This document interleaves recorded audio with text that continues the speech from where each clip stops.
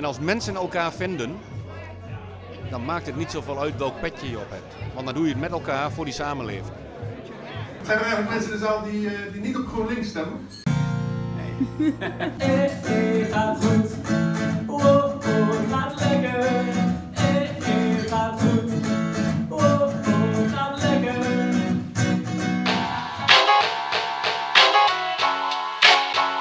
Live vanuit een nu nog leeg de hip. ehm, ga ik eventjes met... Op de achtergrond horen jullie de reisgenoot, de muzikant van dienst. Een hele toffe muzikant, dus ga hem vooral ook eh, checken. Ehm, en ik zit hier naast eh Garald Verhoeven, de gespreksleider van vanavond. En we gaan het vanavond hebben over kunst en cultuur. Eh Garald, jij hebt ons verkiezingsprogramma gelezen. Ehm, zat daar veel voer voor moeilijke vragen?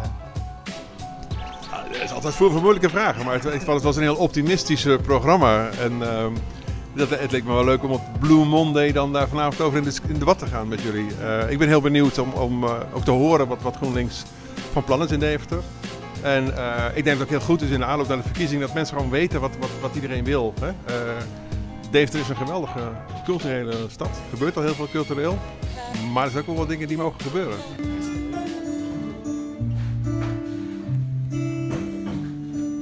Ik heb gezocht naar vrijheid achter de van de poort. En ik heb gezien hoe hoop door de gewoonte wordt vermoord. Vaak zocht ik naar antwoord tussen kruis en wetenschap.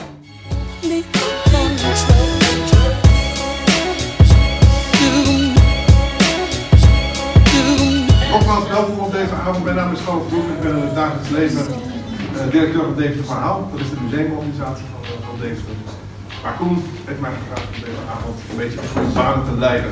En dat doe ik graag, want het is belangrijk dat we met z'n allen praten over het cultuurbeleid. Eh, en het is ook belangrijk dat het een belangrijk item wordt in de aanstaande verkiezingen. Dus eh, ik ben heel blij dat er zoveel mensen zijn gekomen, ondanks het weer ondanks Blue Monday. Ook Corinne Ellemeet helemaal uit Den Haag. En Koen Boswinkel van niet zo heel erg ver. Eh, mag ik jullie naar voren vragen?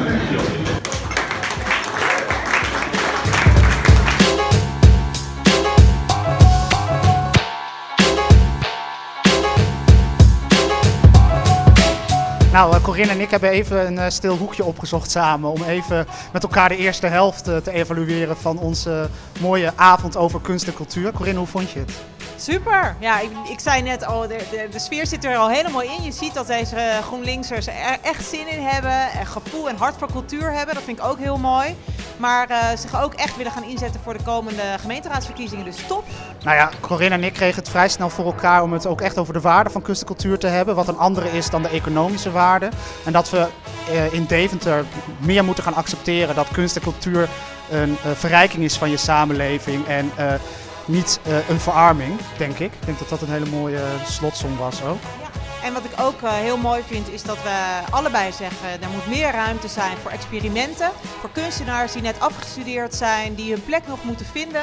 En die gewoon moeten kunnen oefenen en kunnen experimenteren. Ja, je ziet dat eh, kunstenaars zo'n bijna 45% minder verdienen, ZZP'ers, dan andere ZZP'ers. Dat is een enorm verschil. Het komt meestal neer op zo'n 10.000 euro eh, minder salaris. Terwijl ze zo belangrijk zijn voor onze samenleving. Dus wij vinden allebei, kunstenaars verdienen een eerlijk loon. En moeten betaald worden voor hun werk. Toch?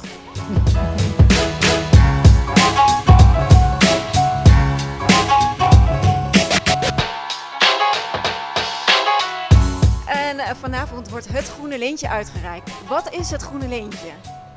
Nou, het Groene Lintje dat is een eh, blijk van waardering voor organisaties in Deventer die zich echt hard hebben gemaakt voor het milieu en voor de natuur eh, in het afgelopen jaar.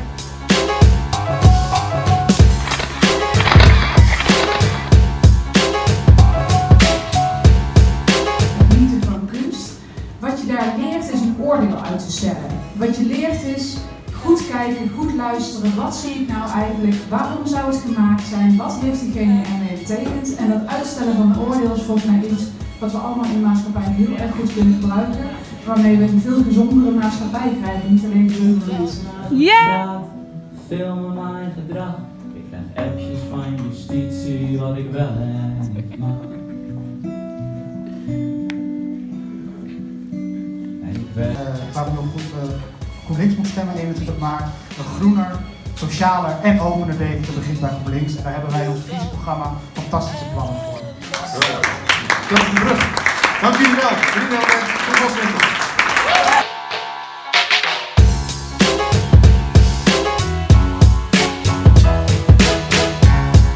En met hoeveel zetels ben je tevreden straks?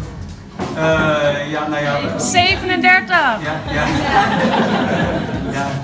Ja, 37 zou heel, eh, heel aardig zijn. Zoveel mensen hebben we nu op de lijst, eh, maar we zitten nu met drie mensen in de, in de raad. Nou ja, een verdubbeling zou natuurlijk eh, fantastisch zijn, maar eh, het moet ook realistisch zijn. Eh, we gaan voor de verdubbeling. Ja. Dankjewel. Dankjewel. Maarten, eh, hoe vond je het? Eh, ja, tof. Wel kort eigenlijk. Eh, in de zin van. Ja, nou ja, misschien komt dat omdat ik zelf in de sector werk, maar dan, eh, je kan er altijd meer over vertellen of meer vragen stellen. Of, dus het tempo lag wel hoog. Maar eh, ja, het was een mooie avond. Want wat is er dan nog niet aan bod gekomen? Nou, niet zozeer dat ik echt zoiets heb van, oh daar ligt een gat of zo, maar meer van dat je op sommige dingen nog verder had willen doorpraten. Weet je wel, van wat is de waarde van kunst is bijvoorbeeld naar voren gekomen, maar ook wat ik jou terloops heb horen noemen is van, goh, het productiehuis is fantastisch, maar die bedienen maar een beperkt aantal mensen eh, per jaar. Wat doen we met die andere kunstenaars? Nou, dat is bijvoorbeeld een vraag waar ik wel geïnteresseerd in ben. Ehm, het Deventer Songwriters Gilde is een officieus collectief, dus het is geen officiële vereniging. Iedereen kan zich aansluiten.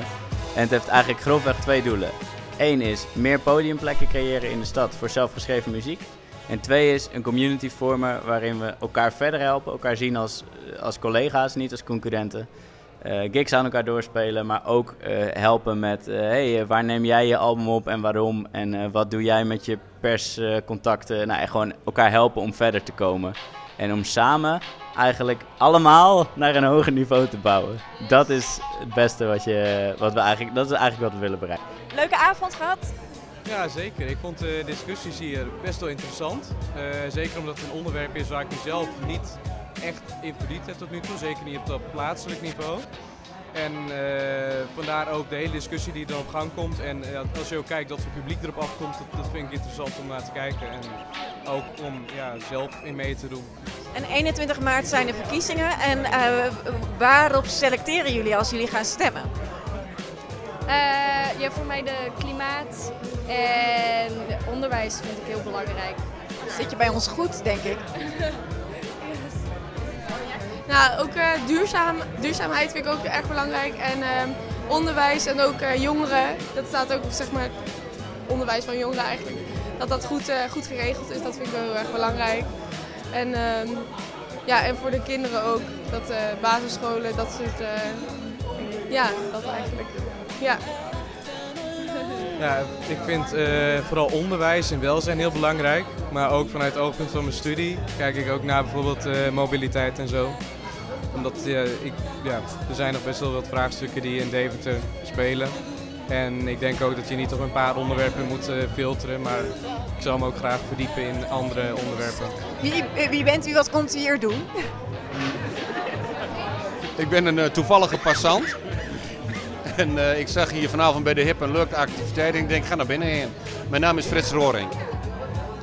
En wat vond u ervan vanavond? Ik vond het heel geanimeerde bijeenkomst. Eh, er werd heel vrijelijk gesproken. Ik heb wel eens andere eh, zeg maar, politieke avonden gezien waarin eh, ja, via hele strakke richtlijnen en kaders mensen eh, vragen en antwoorden gaven. Maar ik, vond hier, ik, ik voelde me hier ook ontspannen. Ik voelde me hier ook welkom. Ik ben niet van GroenLinks, maar ik voelde me hier vanavond welkom geheerd. Je bent van harte welkom bij GroenLinks. Dat, en daar hoeft u geen lid voor te zijn. Eh, heeft u vanavond dingen gehoord over cultuur dat u denkt van nou, daar, daar kunnen we wat mee in de gemeentepolitiek? Nou, ik weet niet of Koen Boswinkel zijn oproep zo heeft bedoeld. Maar eh, eigenlijk ben ik het er wel mee eens dat je een verschil moet maken tussen zeg maar, het vastgoed wat nodig is om cultuur goed tot zijn recht te laten komen en de cultuuruiting zelf. En ik zie in Deventer de afgelopen jaren wel eens die verwevenheid, waardoor ze elkaar als het ware belemmeren. En het, het uit elkaar halen van die twee allebei belangrijke elementen om tot een goede cultuurontwikkeling te komen in Deventer, daar ben ik wel met Koen. Ik denk dat Koen het iets anders bedoelt, maar in essentie ben ik het wel met hem eens. Ik denk dat Koen dat ook bedoelt. Ja, dus dit is een, het begin van een goede samenwerking tussen GroenLinks en CDA. Nou, die samenwerking was altijd goed volgens mij. Uiteindelijk, eh, weet je, ehm, je hebt twee dingen waar, wat je nodig hebt bij eh, eh, samenwerking. Dat is uiteraard een goed programma, wat overeen moet komen. En B, het is en blijft mensenwerk. En als mensen elkaar vinden, dan maakt het niet zoveel uit welk petje je op hebt. Want dan doe je het met elkaar voor die samenleving.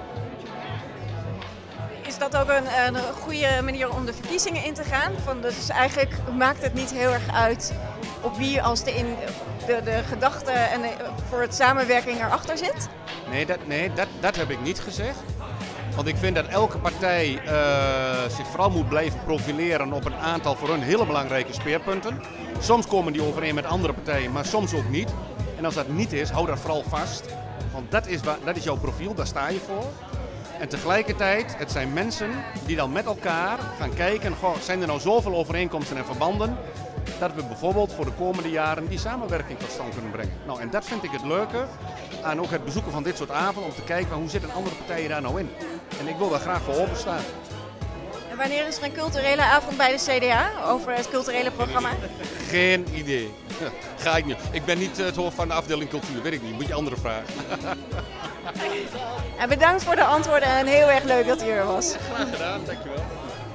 Ik vind de initiatieven die nu eh, eh, ingebracht zijn geworden, die dus ook hier in dit mooie plan staan, die vind ik, eh, ja die onderschrijf ik dus, dat vind ik mooi. Dat er dus ehm, wat minder starren naar gekeken wordt. En ik vind cultuur en kunst vind ik essentieel voor de mens in het algemeen, net als onderwijs en werkgelegenheid. En dat soort voorzieningen, dat noem ik dan basisvoorzieningen die, waar ieder mens eigenlijk van zou moeten kunnen, eh, zou moeten kunnen deelnemen of in kunnen participeren op zijn minst. En dus dat moet ook bereikbaar zijn voor iedereen.